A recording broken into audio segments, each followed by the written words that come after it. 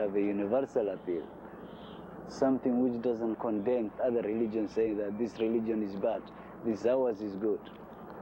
Actually, I found what I was looking for. For all these years, the thing which has been bugging me, I found the answer here. Before, I used to feel a lot of self-pity about being inside jail, you know, thinking, why should this have happened to me, all this sort of thing. Having the Vipassana course, it's like, I'm grateful that it was there, you know, I'm almost grateful for coming to jail to actually go there and, you know, have the opportunity to do it. You know, I often think to myself, when I get home, you know, I've got my own bedroom, I can meditate there, I can make it a, a regular part of my life. But, you know, old habits die hard, and it's very easy just to fall back into the old pattern of lifestyle. So before I leave here, like, I don't know when that could be, you know, there could be a chance next month or middle or the end of next year, but actually what I'd really like to do is go to a course, complete the course, and then like the very next day to be able to walk out of jail. I'd go out in a very good frame of mind, not a bad frame of mind which this place can create. You know, this coming to Tihar, it's a lesson in life I'll never forget. You know, it's, in a way, it's a great experience, but it's, it's just gone on for too long now. You know, I'd really like it to finish and so I can go home.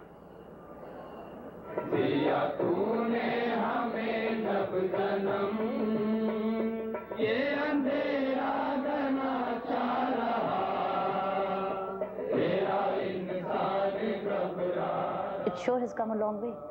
Earlier prisons were not being opened for this course. Some were, some were not. But now the government of India sent out a circular to all the prisons in India to encourage Vipassana courses. Because the prisons were capable of receiving it. Staff was accepting this. The community outside was expecting this to happen. You know, there was a positivity of a belief that this can happen in the prison now. People who were being released from the prison were not coming back anymore. Outside, people had started to see the change in their thinking and behavior. So there's been no looking back.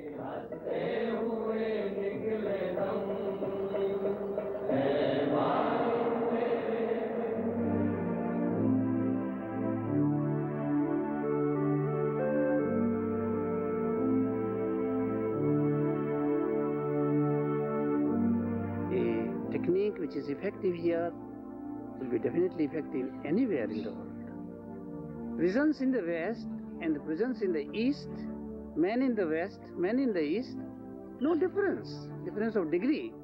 But totality, we are the same, same people all over the world. The traditions are different, culture is different, but man is not different.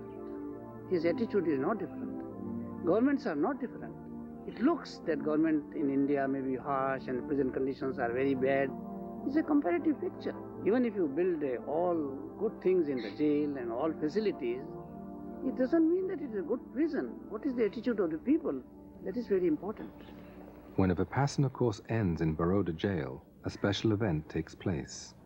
In the presence of social workers and guests supporting the Vipassana program, the superintendent, a Vipassana student himself, greets the inmates coming out of the meditation hall.